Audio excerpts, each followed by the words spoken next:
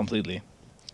Yeah, and look at this as well. They're, snaking their way around the back from MSL and also aizy going straight up through Garage. Here we go.